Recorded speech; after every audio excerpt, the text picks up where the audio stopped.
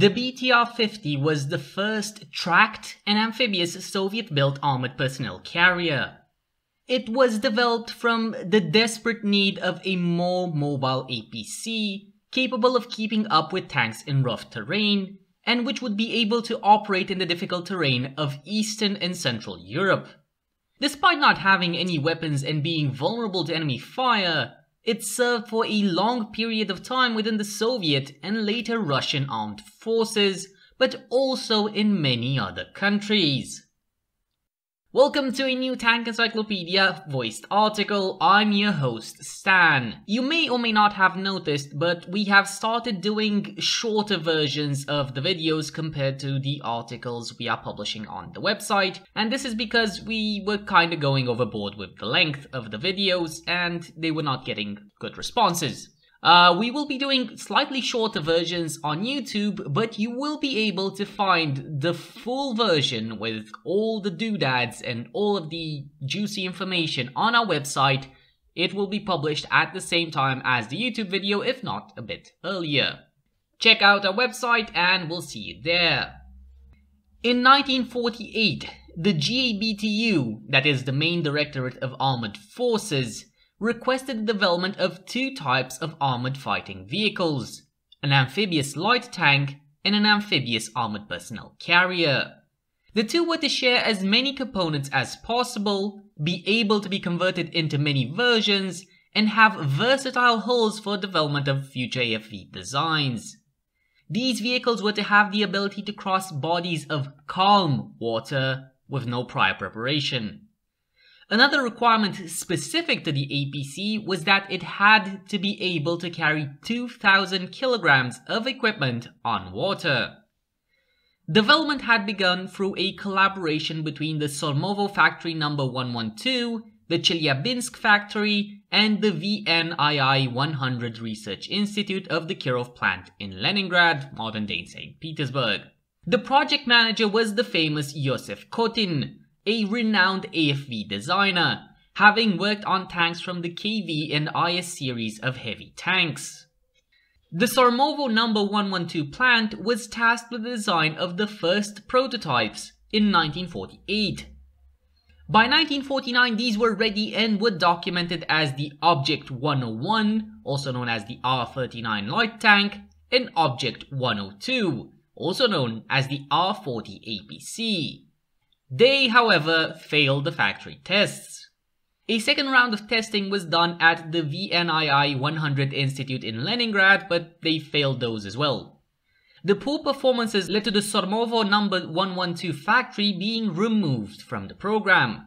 After this disappointment, some of the heads of the number 112 factory, alongside certain engineers, were removed from their offices and held accountable. What that meant in the Stalin era, you can imagine for yourselves. The Council of Ministers of the USSR decided on 15 August 1949 that the VNII 100 Research Institute in Leningrad should restart the development of the two vehicles, with testing to be started in 1950. Work started immediately on the new combat vehicles and the blueprints were ready by the 1st of September.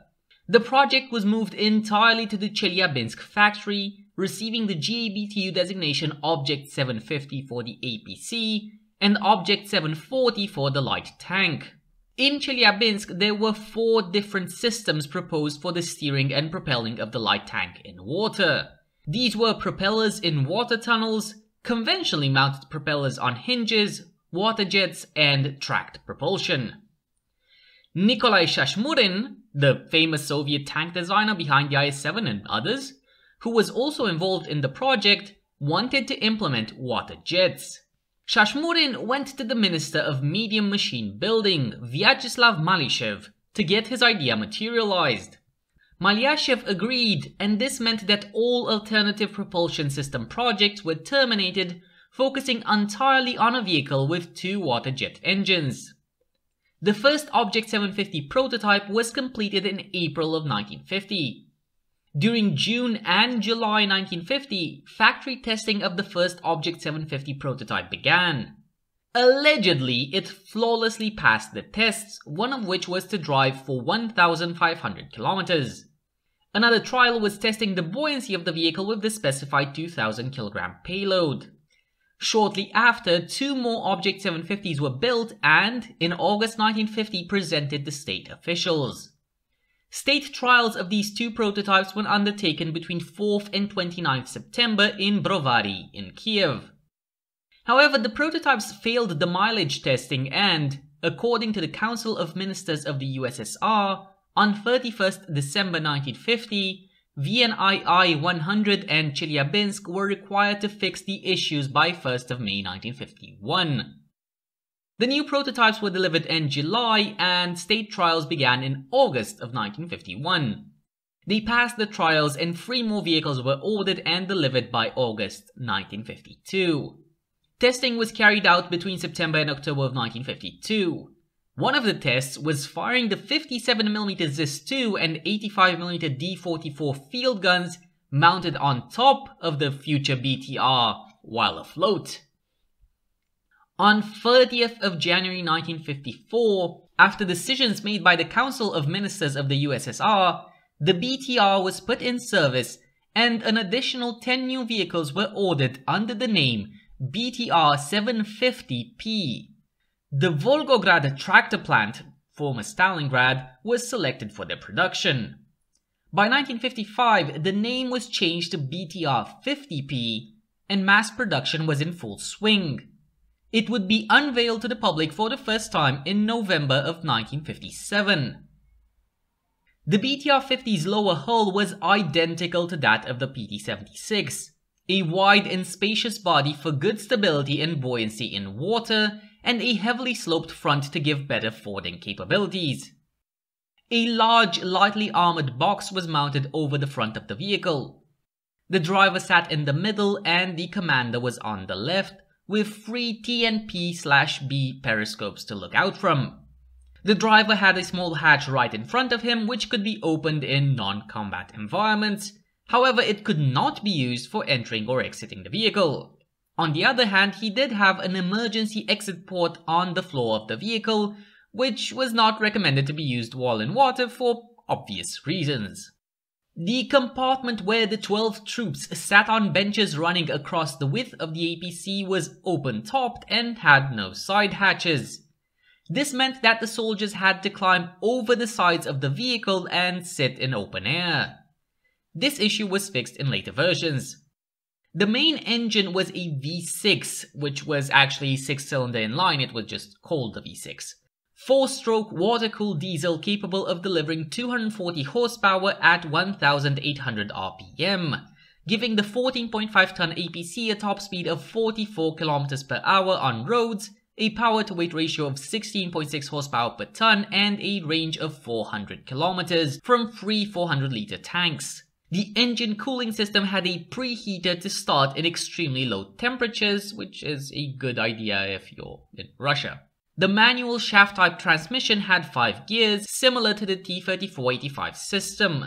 The side clutch helped the driver for turning, assisted by a mechanical transmission and a bad brake. Taking the harsh Russian weather conditions into consideration, the vehicle could operate in a range between minus 40 to plus 40 degrees Celsius. The armor of the vehicle was very thin and was designed to only protect from shrapnel. It was made out of cold rolled homogeneous steel sheets welded together. In the front, the armor was 13mm thick, 10mm on the sides, and just 7mm in the rear. For later versions, a 10mm thick roof was added. Propulsion in water was done through two main jets with openings in the floor of the APC. Water could be pumped up and propelled out the back of the vehicle through two holes, creating thrust. To steer either one of the holes was shut. For example, to turn to the right, the right hole was closed while the left was still running. Closing the ports to the jets forced the water to exit under pressure through the ports on the side, going forwards, and this also helped with turning. When reversing, both rear jet holes were shut, redirecting water to the two smaller ports on the side of the vehicle, and thus giving backwards propulsion. This system was designed by Nikolai Konovalov and was identical to that on the PT-76. The BTR-50P was the first production version to be accepted into service in 1952. It was very rudimentary with no roof over the crew compartment. The crew and soldiers had to climb over the sides to enter and exit. Likewise, it had no firing ports for the soldiers inside, but considering the vehicle was designed to drive the troops to battle from where they got off by foot, it was deemed as acceptable. Inside the troop compartment, 12 soldiers could sit on the free benches. Because it had no roof, it completely lacked nuclear, biological, and chemical protection, which was a large problem considering the military and political environment of the 1950s and 1960s, which was seriously considering the use of tactical nuclear bombs. During the Hungarian Revolution of 1956, the Soviet army experienced considerable BTR-50 losses. The lack of a roof meant that Molotov cocktails and grenades could be dropped into the crew compartment. Thus, an armored roof with two large hatches for exit and entrance for the troops and a round hatch for the commander were added. Considering this additional weight, a torsion bar was added to prevent injuries when closing the door. The roof also allowed for NBC protection for the crew. When the engine was on, air was distributed into the compartment by a supercharger. When the engine was turned off, a ventilator was used. The troops sat behind the crew's compartment that ran along the entire width of the vehicle. There was no separator of any sort in between the two spaces, so communication between the crew and troops was simple. Now that the roof was closed, two gun ports were added on each side wall through which the troops could fire. Other changes were made, such as the addition of a TVN2B night vision device for the driver, a P113 radio, and an automatic carbon dioxide fire protection system. A new fuel tank was installed, extending the range to 150 kilometers. The BTR-50PK entered service on 27 October 1958 and was the largest upgrade for the BTR-50 during its service life within the USSR many BTR50Ps would be converted to the PK standard. The BTR50PU was the most produced and exported version of the BTR50. In addition to being a conventional troop transporter, the PU version was a command version. These had new radios, an auxiliary power supply, a new cupola in the front with three additional TNPB periscopes, four antennas, and lacked weapons. A TVN2B night vision device was also added for the driver. A third crew member was added responsible for navigation. He sat to the right of the driver. Given the versatility, huge production and reliability of the BTR-50, many versions were produced within the USSR, including the UR-67, MTP-1, Object 209 Penguin, ZTPU-4 and ZTPU-2, and Object 211. Due to the large export numbers, BTR-50s have seen plenty of combat in recent history. However, being an unarmed APC, there are not many notable combat stories and scenarios as opposed to battle tanks. Used as early as the Vietnam War, they also saw action in the Middle East. Both Egypt and Syria used them during the Six Day War in 1967, leading to a handful being captured by Israel. The Syrian armored units consisted of 31 main battle tanks, 2 BTR-50s or BTR-60s and 10 trucks. They were also used in the war of attrition by both sides. BTR-50s were used again by all sides during the Yom Kippur War. BTR-50s have also been used in the Hungarian Revolution of 1954, the Prague Spring of 1968, the Iran-Iraq War, and as recently as the war in Donbass. Likewise, they have been used in the war in Syria by various factions with many homemade adaptations. The lack of armor and the Soviet doctrinal design of the BTR-50 makes it a poor IFV slash tank in the way that it has been used by rebels and fighters in Syria. Israel first captured around 240 BTR-50s and OT-62s from Egypt in the Six-Day War in 1967. The IDF used them extensively until the 1980s when they were sold off or retired in favor of M113s which were first delivered in 1971. BTR-50s were also used by the IDF in the 10-hour war, also known as Operation Raviv. Operation Raviv was an Israeli armored raid into the western bank of the Gulf of Suez on 9 September 1969. Under cover of darkness, 6055s and 3 BTR-50s painted in Egyptian colors landed south of Ain Sokna just after 3.30 in the night north of their main objective, an Egyptian radar installation located at Abu Darig. Without stopping, the armored raiding party drove approximately 45 kilometers south along the coast, raiding Egyptian outposts and attacking the thoroughly surprised Egyptian forces along the way.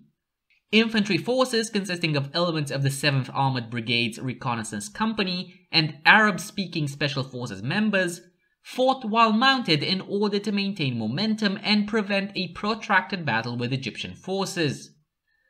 After nine hours of operating in Egyptian territory, the armored force was withdrawn just after 1200 hours via ship north of Za'farana, having suffered only light casualties and no known vehicle losses.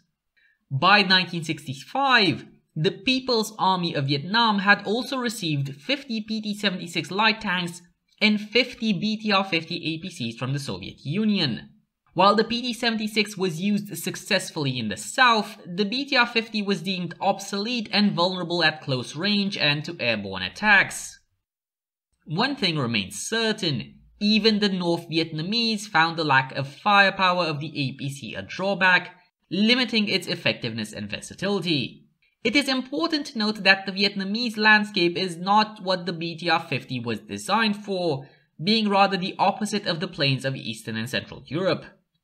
Nonetheless, at least three BTR-50s were converted into self-propelled anti-aircraft guns, with two ZPU 14.5mm AA heavy machine guns mounted. These belong to the 202nd Motorized Infantry Regiment and were renamed BTR-50 Phong Khong, meaning anti-air. They saw combat in Quang Tri in 1973 and 1975. Starting in 2014, Vietnamese BTR-50s were upgraded using the Belarusian Minotaur upgrade package. The BTR-50 was then slowly replaced by the BMP-1 as a frontline mechanized brigade APC. The BMP-1 was also able to engage enemy targets as it was an infantry fighting vehicle. Radio and command BTR-50s and BTR-50PUs were replaced by MTLBU after their introduction in the 1970s. The MTLBU was a much more versatile and spacious vehicle, better suited for equipping a variety of systems. While most BTR-50s have been retired from active service by 2003, the Russian armed forces still possess large stocks of these vehicles. Potential upgrade plans were met with mixed feelings, some considering them as certified death traps due to the poor armor, while others saw the upgrade potential of such a vehicle similar to the M113's long list of upgrades. The BTR BT-3F is a modern Russian amphibious APC based on the BMP-3F IFV. While it uses modern technology, including a remote-controlled weapon station equipped with a 7.62mm machine gun, the BT-3F is, at heart, a BTR-50. Intended to replace the MTLBs and Naval Infantry's BTR-82As, the BT-3F is able to carry troops and provide moderate support during amphibious maneuvers. Unlike the BTR-50, it has adequate protection, STANAG level 4, and a rear entry and exit door for the infantry. The BTR-50 served as a formidable starting point for future Soviet IFV and APC designs. Thanks to its low price, reliability, versatility, and high production, it still serves in a lot of countries to this day, embedding itself as one of the most influential and well-known APCs in armored fighting vehicle history. Although later BTRs were wheeled for higher speeds and reduced maintenance costs, the BTR-50 chassis still served as a basis for other tracked transporters, like the MTLB.